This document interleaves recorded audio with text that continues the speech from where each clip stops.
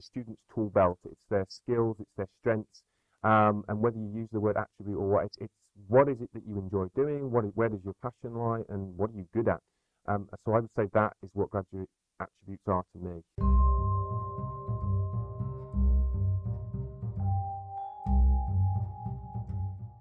I think a lot of it comes down to the ownership um, and their attitude towards their own career.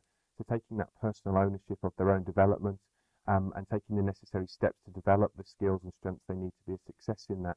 That's most uh, important to me um, because a career at enterprise, we're going to need you to adapt, to move into different teams and, and overcome lots of different challenges, which is going to require a different skill set dependent on that challenge. But the one thing that stays true really is the very positive attitude and ownership and responsibility for that, which will help them move up quicker in the program.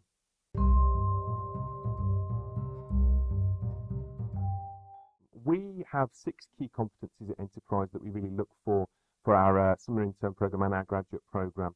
Um, they're of equal importance, but the one that uh, I value probably slightly higher than the others is the leadership side because we only promote internally. So anyone we bring into our company uh, has to have that desire and ambition to move up and take on more responsibility and leadership. So leadership is one of the key competencies. You also need to, to have very effective communicators people that can adapt to different situations and can communicate uh, effectively in different situations. So that is also very important.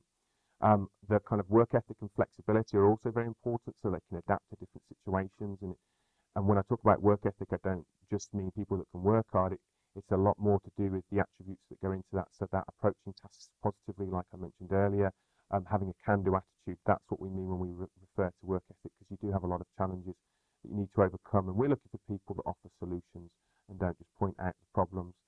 Um, the other two are very specific to enterprise, um, and that's the customer awareness and the customer service skills so they can build relationships with customers very quickly, develop those relationships um, into successful relationships and accounts for enterprise.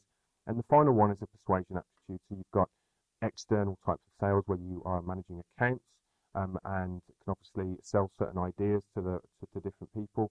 Then you've got internal, where you need to sell your ideas and you need to persuade your team to follow a certain course of action. And I think persuasion and sales are sometimes maybe overlooked, but it is a key competency at enterprise.